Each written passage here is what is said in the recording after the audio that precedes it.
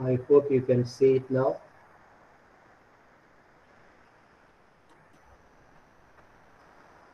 Okay. Yes, sir, it is okay. All right. Yeah.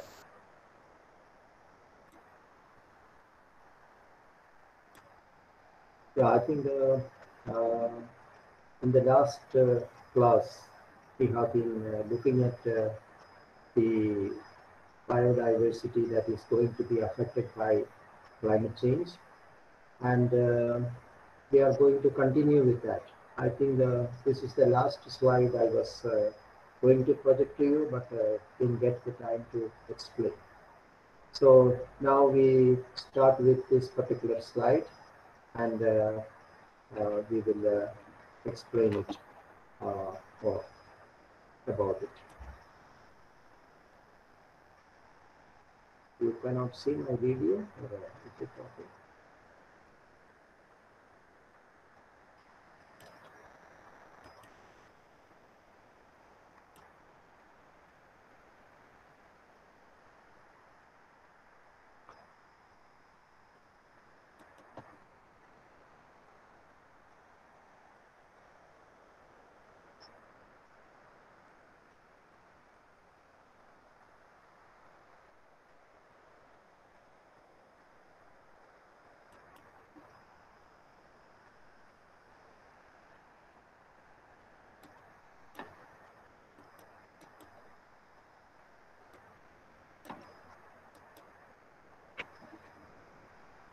Okay, can you see the slide now?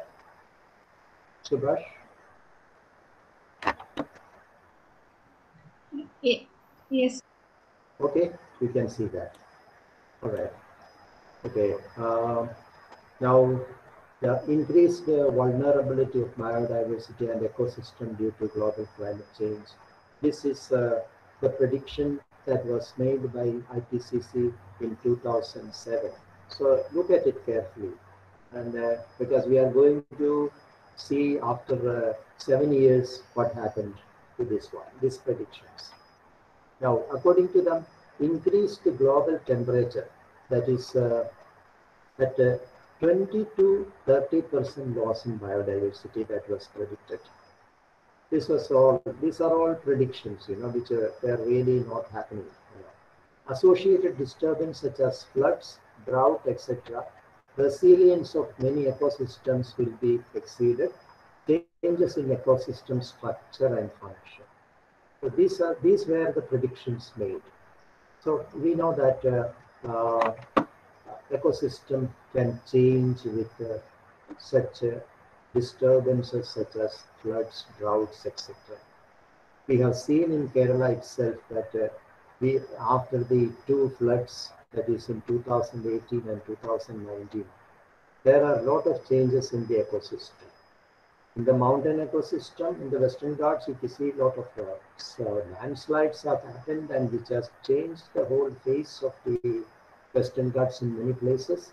And in the coastal side, you can see that many rivers have got flooded and they have taken away the land in many areas.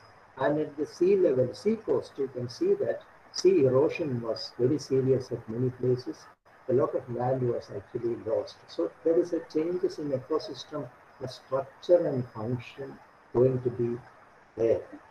Now, next is progressive acidification of oceans, which is causing negative impacts on marine shell forming organisms. you know that uh, uh, I have already told, given you some indication what is the problem with the acidification of oceans.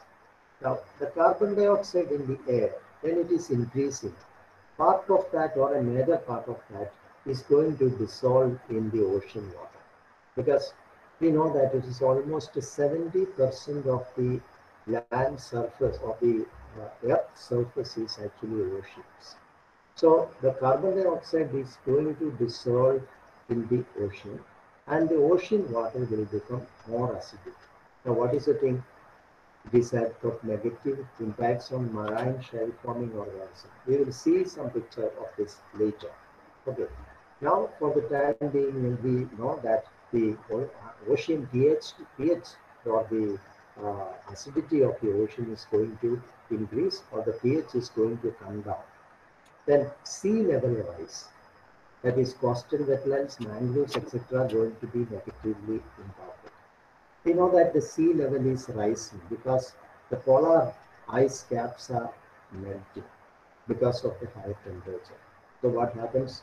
All the water is going to come into the ocean and the ocean is going to have a level increase, which will affect the coastal wetlands. In Kerala, it is affecting and in mangroves uh, vegetation, in many areas, the mangrove vegetation is disappearing because mangrove vegetation is at the transient uh, area of the uh, land as well as on the sea.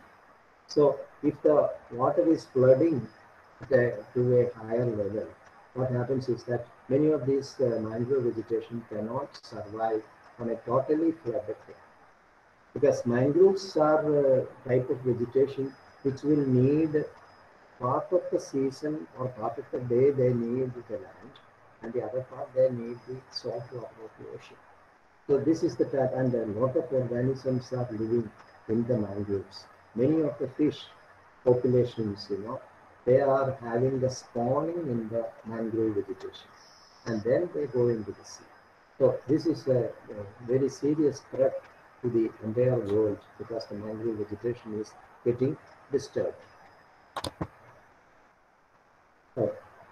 Vulnerability of biodiversity and ecosystem due to global change. Now, many in this particular slide, we can see that this is actually a prediction for of the I, I mean a report of the IPCC in 2014. That is seven years after the uh, last uh, report was coming out. So this is you see uh, how they have changed their wording now. Many terrestrial, freshwater, and marine species have shifted. In the previous one, they said is going to be affected, but now they say have shifted their geographic ranges, seasonal activities, migration patterns, abundances, and species interactions in response to ongoing climate change. They say it with high confidence. That is high statistical confidence, they are saying. All these have happened, which they predicted in 2007. Okay, while only a few recent species extinctions have been attributed as said to climate change. Uh, only few recent species extinctions have been attributed as said to climate change. Natural global climate change at rates slower than current anthropogenic climate change caused significant ecosystem shifts and species extinction during the past millions of years. Now, difficult to, bit difficult to understand this particular sentence which have been taken from the report of IPCC. What they are saying is that the extinction of species have occurred due to the present climate change or the human activity, but it is not as much as the, the natural climate change which happened maybe millions of years ago. Say, I told you while uh, explaining the graph of the climate change that there was a, an ice age many thousands of years ago. And this really destroyed the entire, uh, I mean, entire vegetation as well as the biodiversity in most parts of the world, except the tropics. And many things migrated to the tropical areas at that time.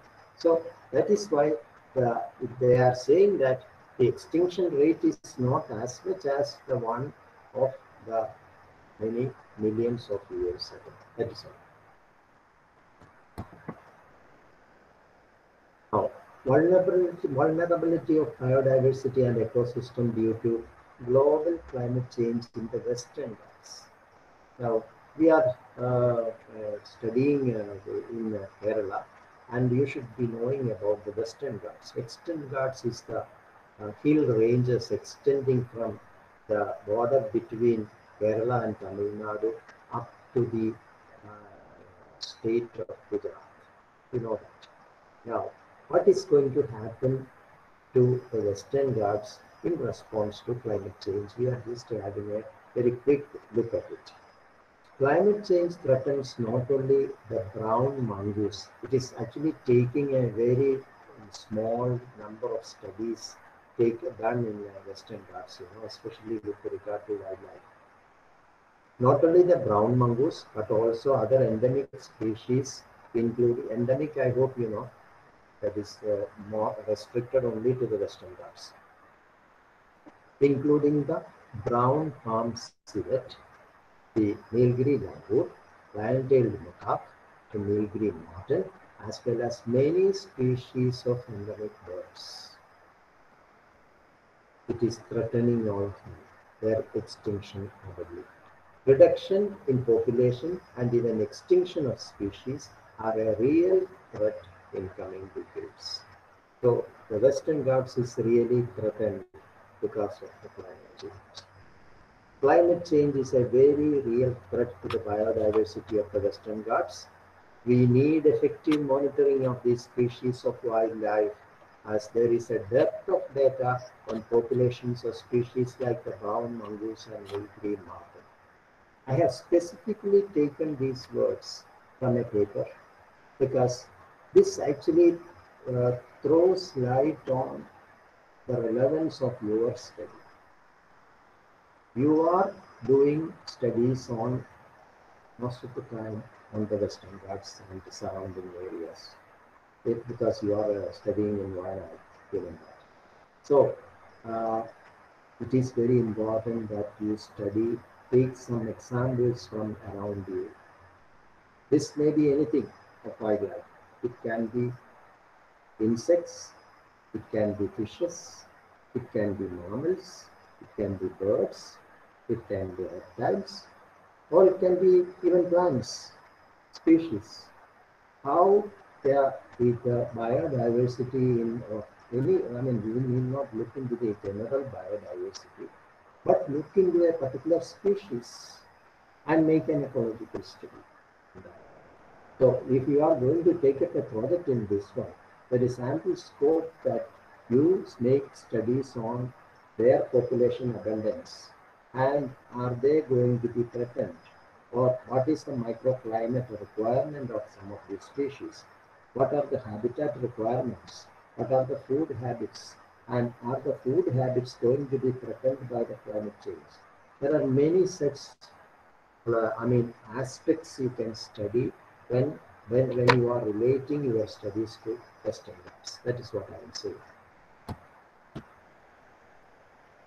Now, vulnerability of biodiversity and ecosystem due to global climate change in Western Ghats again uh, this is a, you know, this famous uh, ecologist called uh, Professor Madhav Gadgil.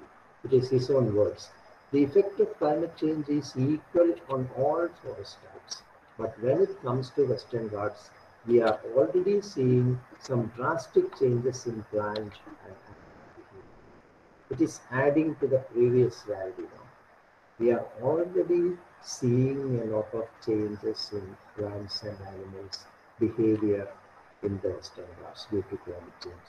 Many high altitude species of fruits and flower are now blooming in lower regions due to increase in temperature and this has already been recorded in the Himalayas as well. So the advancement of flowering and fruiting in many species because of a higher temperature, especially in the lower part, in the lower elevations, you can see this one.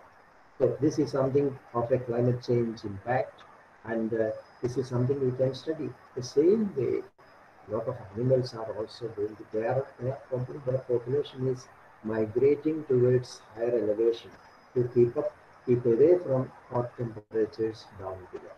Then there are uh, many species which are uh, changing their uh, habitat due to heavy rains, landslides, so many things. So you can go to some such locations even which was affected by landslides or flooding or something like that. And then look at the species and how it is behaving much different from rest of the uh, western Ghats. That is also another possibility. So what are the consequences finally? This is the general consequence, you know, not only to the Western Ghats, the plant community composition will be reorganized, new communities will emerge, and others will be lost. Now, this is looking at this particular sentence, it may look very simple, but ecologically speaking, it has got a very serious consequence. What does it exactly say? Plant community composition will be reorganized. What does it? What, what do you mean by that? Say, for example, one of the predictions for the Western Ghats, uh, according to the climate scientists, is that due, due to a climate change, is that we are going to have a, a lot of increased rainfall after 2030. Not now. I think it is already showing some indications. I feel I am not able to say it very scientifically, but there is a, a trend for increasing rainfall. So, what will happen to the forests in the Western Ghats, Kerala? Say, for example, most of the forest, that is 70% of the forest in Kerala, is moist deciduous forest. You know that. Because moist deciduous forest are those which shed their leaves during the summer and spring up during April, May when the monsoon is starting. So most of our forests are moist deciduous forests. Now, what is the speciality with this moist deciduous forest? You know, they are very rich in wildlife. The reason is that they have they experience a different type of sunlight.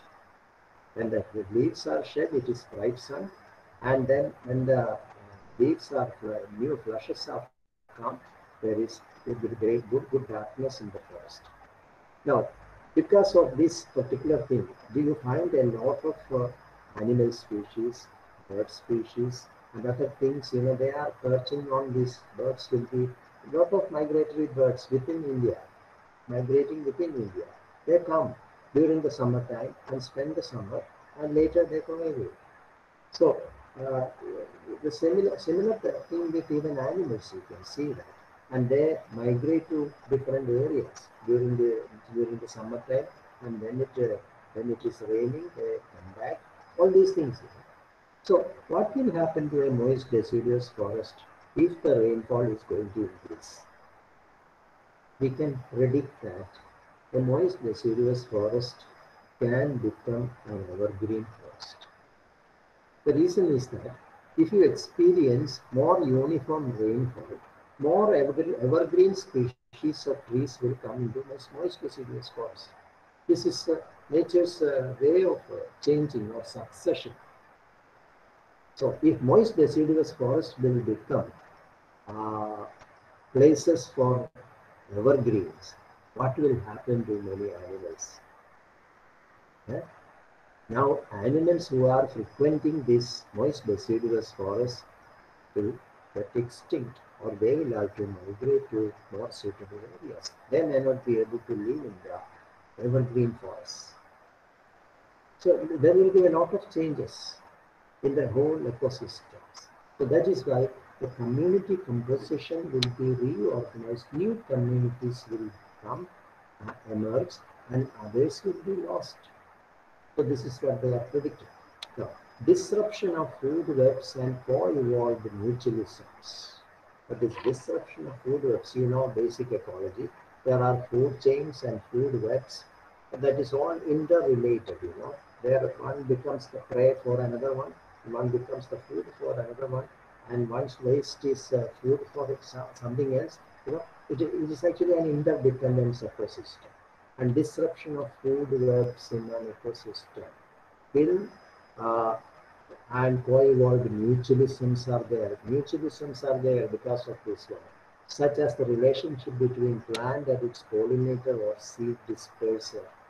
All these are going to be disrupted. So it is a complete change in the ecosystem. Now, third one, diseases, pests, and invasive species may spread into new ranges, putting more pressure, pressure on fragile communities. So more diseases, pests, not only to human beings, animals also will get more, more and more diseases when the climate is changing because more vectors are coming and uh, some other protective measures may be lost. So many of these things are maintaining biodiverse communities will become an even greater conservation priority.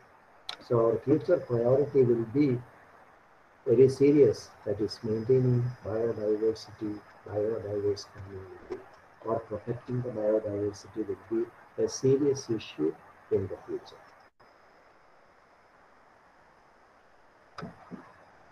I hope you are getting it. Okay.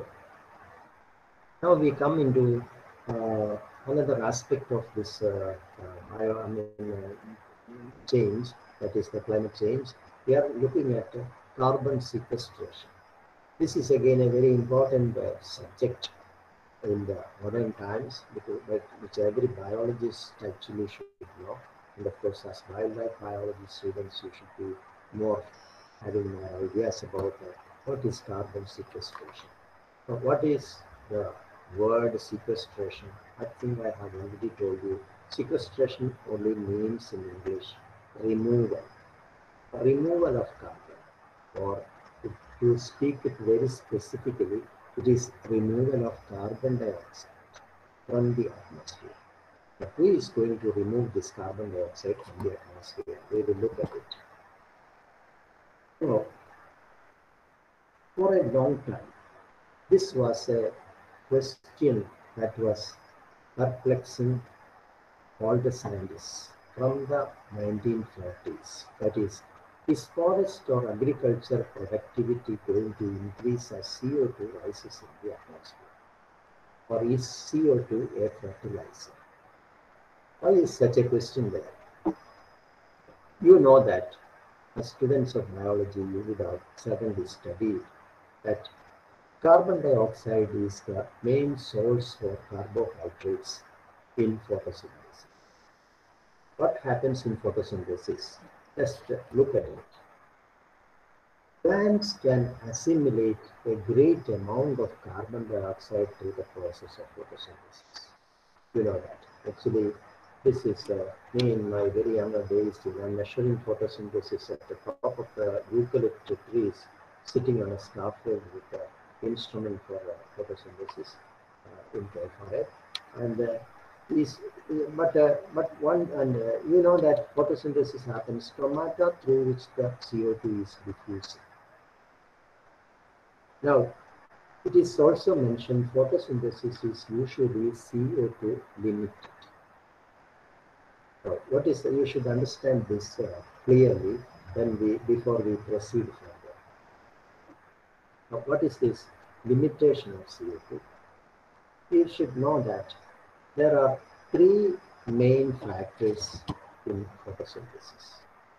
One is the light from the sun and carbon dioxide from the atmosphere and water in the leaves okay these three things are a must and the green chlorophyll of course which is present in this so what happens is that the co2 enters through the stomata and with the help of the light there is electron transfer within the chloroplast, chlorophyll or, or the chloroplast and thereby chemical reactions are performed and this CO2 is actually taken up and converted into sugars for the metabolism of the plant.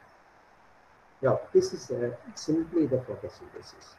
But if you look into a little bit deeper into uh, the photosynthesis, you will know that this, uh, if you increase the light, will photosynthesis increase? The usual experiments have shown that it does not increase after a certain point because the solar radiation itself is only 1% or less than that is actually required by the plant for photosynthesis. So increasing the light will not increase the photosynthesis. Now, how about water, which is another factor, or chlorophyll, which is another factor, increasing that? Will it increase the photosynthesis? It also will increase only up to a certain level. After that, it will not increase. No photosynthesis is. Now, how about CO2? Suppose we increase the concentration of CO2. As I have told you, the usual concentration of CO2 in the atmosphere now, of course, is around 420 or so. Suppose we increase it to 700 or 800. Will there be an increase in photosynthesis? Yes, there will be increase. The reason is that CO2 is always a limiting factor in photosynthesis. Because if you give more CO2 for the leaves, it is going to photosynthesize more. So the question it is asked like this. Is, it, is the CO2 rise in the atmosphere going to increase productivity of agriculture or forestry? That means is CO2 a fertilizer? So that means that this greenhouse effect is going to be a plus point for us. If productivity is going to increase by greenhouse gases, then why not have more greenhouse gases? That means we can burn more fossil fuels and more carbon dioxide is going to be evolved, which will become a fertilizer for the plant. And plants are going to convert everything into food. Right? So we get more food and we, we enjoy life with more uh, fossil fuels. We drive more cars and we travel on planes and uh, do everything, everything which is carbon rich. So this is the question. Now, uh, what is the answer to this? Let us look at this particular graph. I hope you will be able to understand this graph very well. A new graph. This I have already constructed this. Uh, that is, uh, you are applying carbon dioxide at uh, 700 ppm parts per million. The, the, the, atmospheric concentration is at around 400 ppm. So we are allowing for a normally photosynthesizing plant 700 ppm as a pulse. Now what happens? Suddenly you can see that the photosynthesis is increasing. Okay, so that means it is true that CO2 is a fertilizer. So this is an instantaneous thing.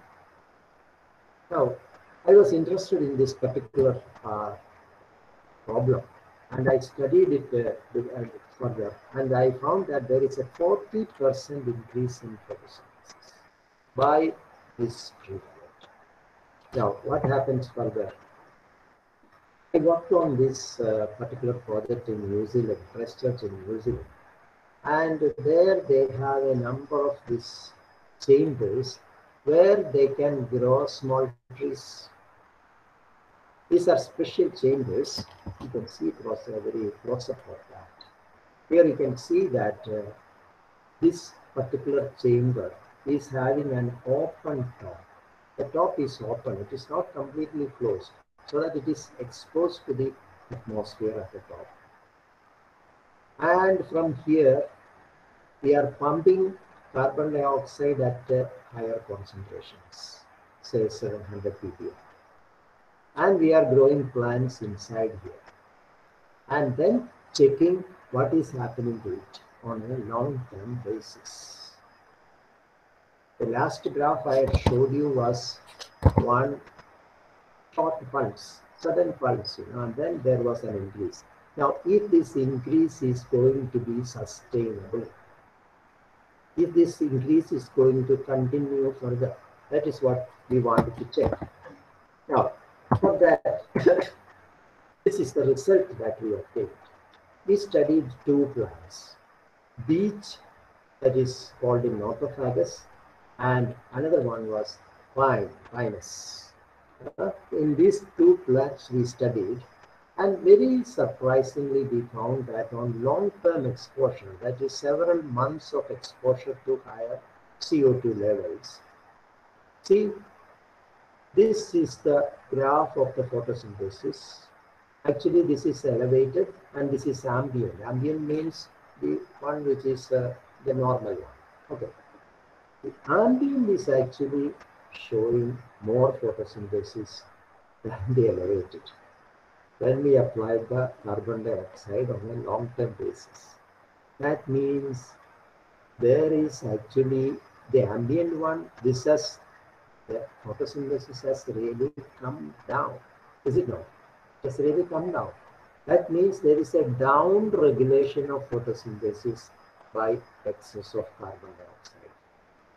So you cannot say that CO2 is always a limiting factor for all the plants, but at least for this particular tree, it is not a limiting factor.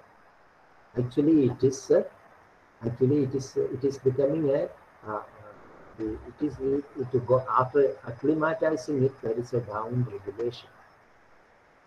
What about pine in this one you can see that surprisingly the ambient and the elevated both the lines are very close together. That is on a long term level in this particular species of pine there was no effect. Isn't it very surprising? Now it is going very much against the graph which I showed you previously, where there was a sudden increase in photosynthesis. But that does not happen on a long term. This is the problem.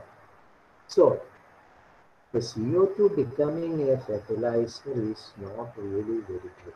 Now, how this idea of CO2 becoming a fertilizer, you know, how it has come? You know, it is come from America in the 1940s. What happened was that, you know, in the uh, in 1940s and uh, even in the very early of the century, you will find that people were growing uh, vegetables in poly houses. Now you know poly houses are there everywhere. So in poly houses they were growing in America, even in the early 19th century. Now, what happened was that when you grow poly, tomatoes in poly houses, they started producing much bigger fruits and better fruits. So finally, they thought that it is uh, something to do with the climate and all. But in the 1940s, somebody got, got the analysis of the air done in this poly house, and they found that CO2 is at very high level in this poly house because it is enclosed space. So they found that it is actually CO2 which is increasing the productivity of the tomato. So this is how the CO2 fertilization idea has come. And later people started thinking that CO2 is a fertilizer for all the plants. But now these graphs show that uh, CO2 is not really a fertilizer in all the plants. Maybe in some plants it is true, but not in plants. this is what we have to understand. What is really happening? I further studied this one and uh, uh, I'm not going to com complicate you or confuse you with uh, all these uh, cyclones and uh, graphs and all these things, you know, but uh, you, what you should understand. What we found was that the due, when the CO2 is increasing in these plants, which we have studied, the problem was that the enzyme Rubisco, that is RUBP carboxylase oxygenase, that is the ribulose 5-phosphate carboxylase oxygenase. It's a very long term for an enzyme, but it is the most frequent enzyme in nature because you find it in all the plants, in all the green plants. So it is the most frequent enzyme in nature, you should know that. Now, this Rubisco is in the process of photosynthesis is passing through this particular cycle and then only it is generating the 3-phosphoglycerate which will be the basic material for glucose production and finally the metabolic part is in the So this cycle has to be repeated. Now what is happening when we elevate the carbon dioxide is that the starch granules and some other chemical reactions are inhibited or starch granules are produced in the tissue and some other chemicals are inhibited by the CO2 high elevation. So what happens is that this cycle is actually blocked or this rubisco is not regenerated by this particular cycle, thereby the metabolic pathways are not going to be. So that is why the photosynthesis is actually down regulated. I hope you understand. Now, Rubisco can convert only 3 to 10 molecules of free CO2 per second. So, but when you are increasing the photosynthesis, this Rubisco cannot handle that much of CO2 for photosynthesis. This is another problem. The drawback with that enzyme, it cannot work in the dark. That is another problem with this enzyme. Leaf nitrogen concentration is important for its activity. So the nitrogen is not available nitrogen is normally only available for any plant. It cannot have more nitrogen because CO2 is more. No, it is not there. So that is there. But RUBP regeneration is important for the cycle to regenerate. So uh, to run. So RUBP is not uh, produced. Then sink strength is an important factor. What is sink strength? When a plant is only growing, it is producing fruits or producing leaves or producing roots the sink strength is there. But the sink strength is also not coping up with the increasing CO2 because of the starch accumulation problems are there. So all these things, you know, that, uh, that are creating problem. So there could be a down regulation. It is not always an up regulation, as we said. So this photosynthesis, the final question that I would like to answer now is, is it going to CO2 going to rise? I mean, the rise in the atmosphere will help to increase the photosynthesis? My answer is three answers. In some plants it will increase. In some plants it is acclimation as you have seen in pine and in some plants it is down regulation as you have seen in bees. I hope you understand this now. The increase in CO2 need not really help in productivity increase in forestry or agriculture or anything like that due to photosynthesis. Now, there is a, another important question that uh, we should like to, uh, we would like to see that. That is, there is a physiological saturation. It is photosynthesis increases as a declining exponential with the CO2. It is actually the photosynthesis is as the CO2 the x-axis is increasing CO2 you can see as the uh, concentration of CO2 is increasing it is actually plateauing at a certain level. Not really increasing not otherwise the graph should have been shooting up like this as I am this arrow is moving you know not uh, plateauing here you know and uh, uh, so the, the, so there is no no such thing as uh, we have more CO2 in the atmosphere, we have more productivity. No, it is not not correct. It is not going to help us that way. Then respiration increases exponentially with the temperature. You know both in plants and animals. One specific thing that you should know that is uh, the rate of respiration increases with the temperature the Q10, you would have said, heard about it, you know, that is increasing the temperature by 10 degree. What is the respiration rate? That is the Q10. So it is going to, uh, respiration increase will exponentially, increases exponentially with the temperature. And what is the respiration? You know that it is not a, it is a catabolic process. That is, it is a destructive process where energy is actually consumed. Understand? So that way it will only bring down the productivity.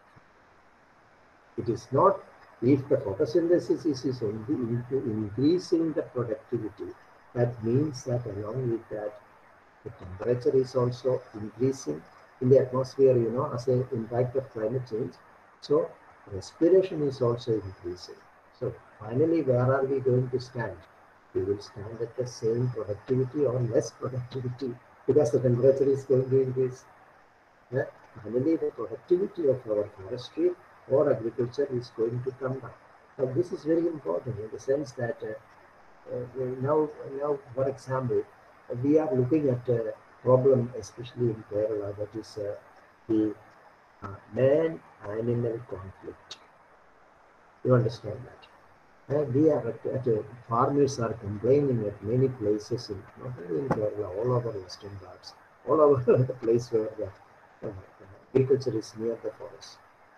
Now, what are they complaining? They are saying that all their crops are being destroyed by so many animals like uh, the wild boar, the hens, the monkeys, several types of birds, and so many other uh, animals. But what is the reason for it? The main reason is that many of these animals are trying to find their food easily in the farmer's place rather than in the forest. Because the forest, the food is getting reduced. They don't have the food, the right kind of food they want. Say, for example, why the elephants are coming down. You should know that the main food for the elephants, one is bamboo, eh? the young shoots of bamboo. Second is grass. If these two things are not there, elephants are going to come out because they don't eat many other things in the forest. Don't think that they are going to uh, take away all these uh, uh, leaves of uh, different trees and all that. No, they don't eat those things. They like to eat only palm leaves. So they come to attack the coconut trees. Otherwise, they should get bamboo. But young bamboo shoots they prefer. So they, it is not always available, you know. So, and uh, grass. Grass should be also available, but uh, when you, if the forest is fully covered, hardly any grass will grow underneath. They are not shade tolerant grasses growing in the forest, many of them. So these are all problems, you know, and uh, so you will find that the productivity of the forest is going to come down due to climate change, then the, the movement patterns of many of these animals will also change and we will have more problems in future that we have to anticipate. Now, this, I mean, I have now, I have so far described some of my experience, which I did in New Zealand and some other places also.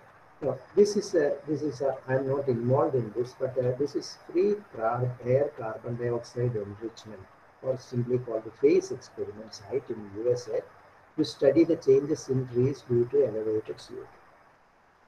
Now, what they are doing is that they are erecting some tubes in the form of a ring.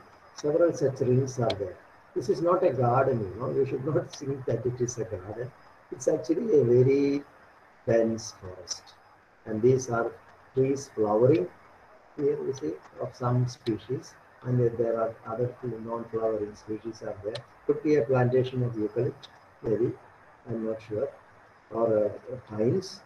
And uh, they are actually pumping high concentration of CO2 into the atmosphere of this forest. I was doing it in a chamber, whereas these fellows are trying to do the uh, experiment in the open itself. And then see what is the response. Let us look at what is the response. This is actually a magnification of that, one of the FACE second. These are the tubes which will be all the time, all the 24 hours, seven days a week, you know, it will be pumping uh, a high amount of CO2 to the surrounding trees. And then they are, this particular person is looking at uh, many physiological and ecological features of uh, these trees which are growing there. Long-term FACE studies have not detected any major photosynthetic acclimation, at least in some of the species. So the acclimation which I noticed is restricted only to some species. Acclimation was there in where? In pines it was there. So that was there. And sound regulation similarly. it is restricted only to a few species and not to all species. So, what is our current information regarding crop productivity? Let us see the crop productivity also at elevated CO2. Small beneficial effects on crop yields in temperate regions corresponding to local mean temperature increase of 1 to 3 degrees Celsius and associated CO2 increase and rainfall changes. So, what is the this? I mean, you should see that this is actually prediction for temperate regions. We are in the tropics, eh? not for us. It is in for Europe and America. Increase of 1 to 3 degrees Celsius will increase the productivity to some extent. I hope you understand. They are going to get some increase in productivity due to this climate because the increase in temperature, because they have got very hard winter. So if they get a higher temperature during the winter, they can grow many more crops and crops will be more productive. In tropical regions, models indicate negative yield impacts for the major cereals even with the moderate temperature, temperature increase of 1 to 2 degrees Celsius. So for the tropics for us, what is the thing? Major negative impacts on yield for cereals, for our rice crop, for example. What will happen to the rice? In a study done in Kerala, they have shown that even an increase of 1 degree Celsius right, will inhibit pollination of rice. So, productivity of rice can fall. So, further warming projected for the end of 21st century has increasingly negative impacts in our. So, we are going to enjoy these food impacts only for some time. Later that is later part of the 21st century that is after the 2050 you are going to have negative impacts everywhere.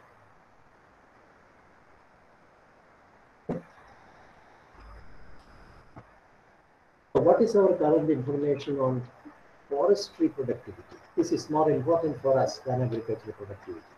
Net primary production that is usually referred that is a primary production at 560 ppm CO2 has been shown to increase by 23.2%.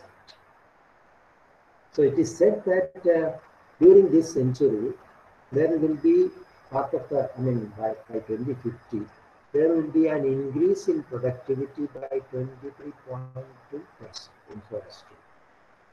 Resulted mainly because of increasing leaf area, hence more light absorption and also increased light use efficiency. So the plants are going to have a more leaves because of uh, the more increased light and then light absorption and light use efficiency. So the productivity increase does not match with the photosynthesis increase because of reduced leaf area or display per unit biomass. There was 21% increase in AGI and 9% increase in the so actually it is not photosynthesis which is increasing. It is actually the leaf area is increasing. So from the leaf area, the present leaf area, will be get a higher leaf area, then naturally the productivity will increase due to because more area is available for photosynthesis. It is not only see that it is not the rate of photosynthesis increase that is going to increase production it is only the leaf area increase which is going to increase productivity. Now, what do we know about the response of tropical trees under elevated CO2 levels? Hardly any long-term exposure studies have been done in tropical trees. This is something of a very bad thing which uh, we all experience. That is, in the tropical area, we have very few scientific studies on climate change. Actually, there should have been more studies on climate change in tropical area because biodiversity is more in tropics. But unfortunately, because of lack of funds and lack of personnel, all these things, we have less number of studies. It is for you people to study this. Understand? You have a lot of problems open before you to take up in projects or in research and then try to solve any of the problems. Okay, now a brief uh, thing about uh, climate change and water use. We started uh, at uh, 410, so I will go up to, uh, sorry, 3, 310, so I will go up to, okay, so I have another 10 minutes more. Climate change and water use. That is again uh, another important aspect of it.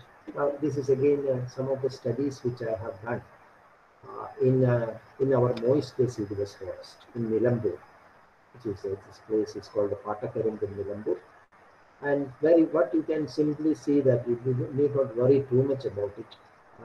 What is important is that in the, these these graphs are actually indicating the water use of four tree species.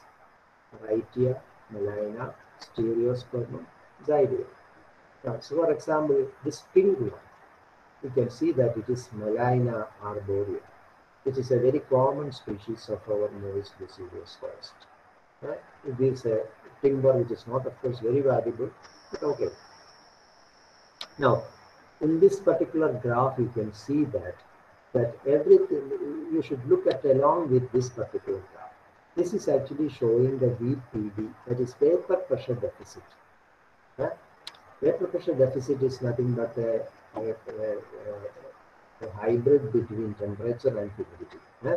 So, as vapor pressure deficit, deficit means that the amount of uh, uh, the humidity that is remaining in the atmosphere. VPD is the deficit. So it is less amount of humidity in the atmosphere when this graph goes up.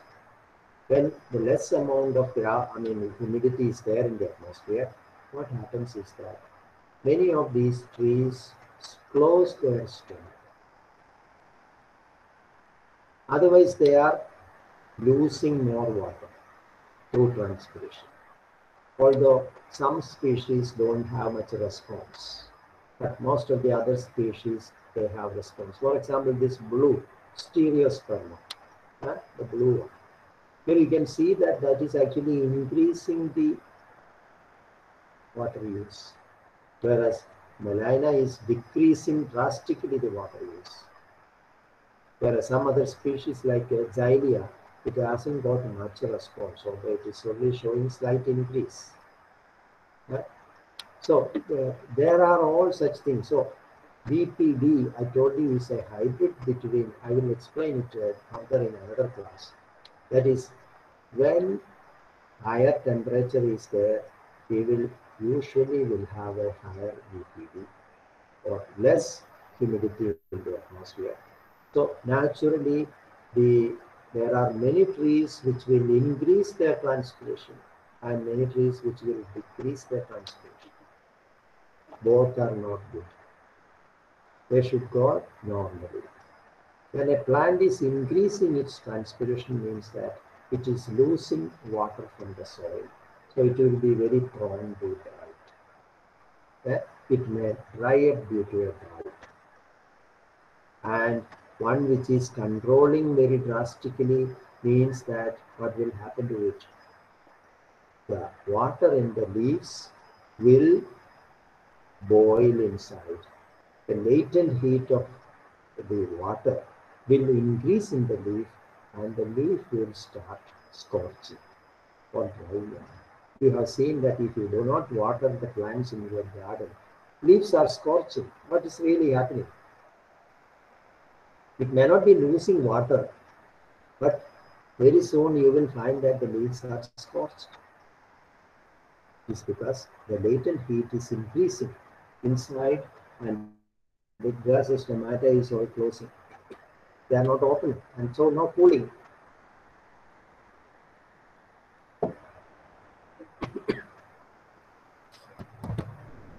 now, uh, this is another work which I have done in the Peechi-Vazhani Wildlife Sanctuary. That is water use of from the whole sanctuary, the wildlife sanctuary. How it is, I mean, it is again a very important thing. because the availability of water is very important for the wildlife also and for the plants, everything. Yeah? And uh, you will find that uh, this is actually used using the computer models.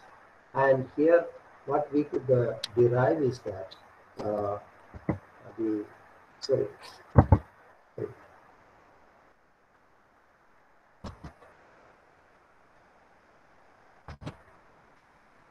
see that uh, uh, leaf area index is actually showing in this particular graph, and 24-hour evapotranspiration is being shown in this one. Now, this is the reservoir, which is associated with the Peechi dam, this area, where the maximum evapotranspiration is there. Whereas in many other areas, with, with related to different crops and trees and other plantations, this is varying. You can see that it is uh, coming less and less the evapotranspiration. So depending upon the type of vegetation, there is a lot of uh, variation. This is it.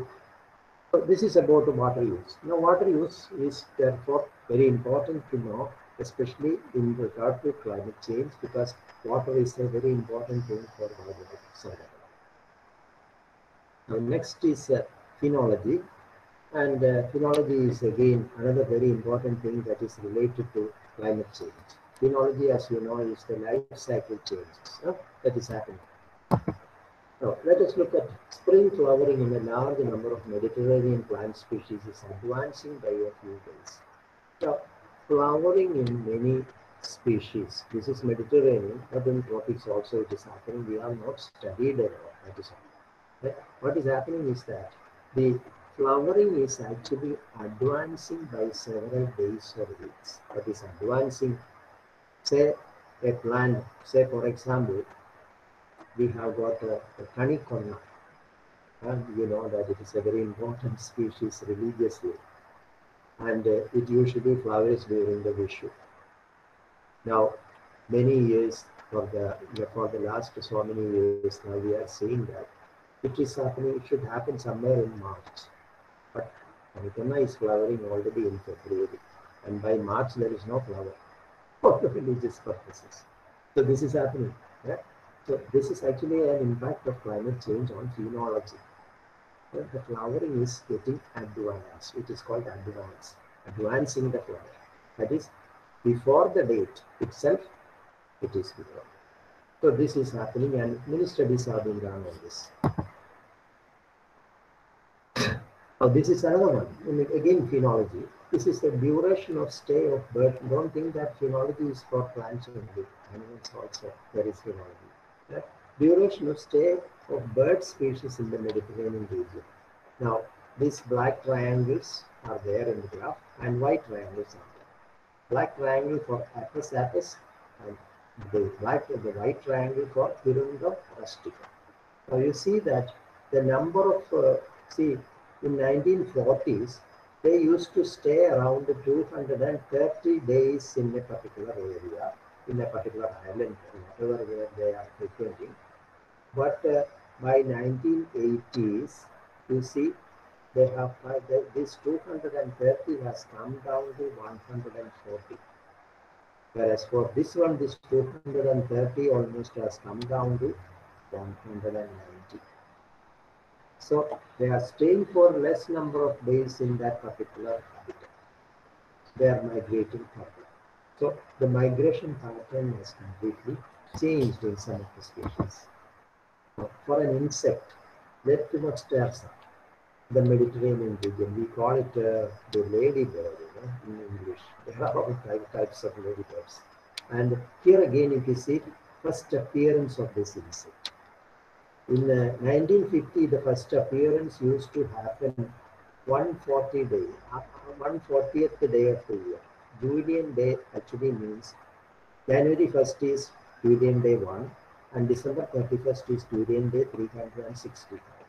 So 140 will be around, if you divide it by approximately 30, uh, around April, May, eh, it used to appear. And then by 1990 or 2000, you can see that uh, it uh, appeared some 20, 30 days earlier So there is people are studying such things, you know, and if, for a long-term study, it is very good. For phenological study, you have to make long-term study, then it becomes very meaningful. Okay, thank you. I think uh, with this we close this biodiversity and climate change, and uh, next class we will take up another uh, topic. Now, uh, you can ask some quick questions. It is possible if you have them and would like to ask.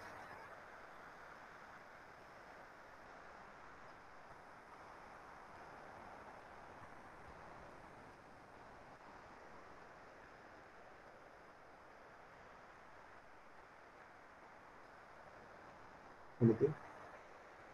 Was it very clear? Somebody can unmute and tell me.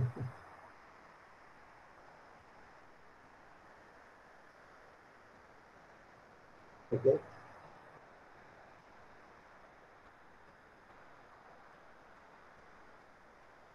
No response? Uh, sir, I have a doubt. Sir, Yeah, tell me. uh, sir, you mentioned about carbon sequestration. So, uh, does artificially planting trees through scientific methods like uh, Miyawaki or uh, something like that, does that have any effect on uh, the carbon sequestration by the trees? Artificial planting of trees. Yes, sir. In That's mass okay. numbers. Uh, In as a plantation, raising plantations. Uh, uh, yes, sir. Yeah, certainly, certainly. I will come to come into that when we do it with mitigation.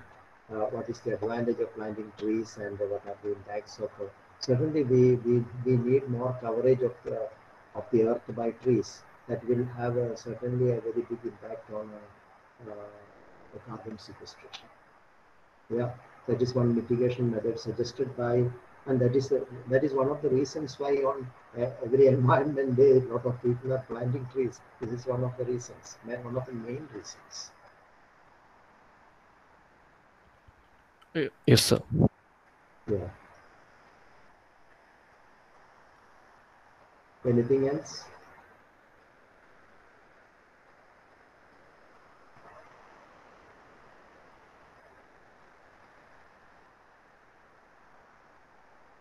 Yeah, if there is no further questions, I understand. I take it for granted that you have understood everything. Okay, I will give you some more notes in the meantime. And tomorrow we meet the same time at three o'clock. Okay, Yes, sir. bye Thank for you. everyone and thanks. Thank you, sir. Thank you, sir. Thank you, sir.